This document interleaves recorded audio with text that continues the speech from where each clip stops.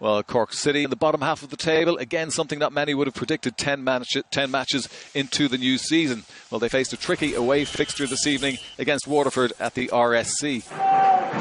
Only one chance of note in the first half. Kevin Lynch's 24th minute free kick, tipped over by Mark McNulty in the City goal.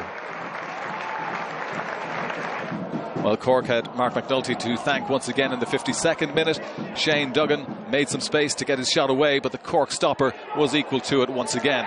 Good save by McNulty. Well, Waterford eventually took the lead in the 75th minute. This time, McNulty couldn't stop Shane Duggan's 25 yard pile driver. At last, some happy faces around the RSC as a result of that stunning strike.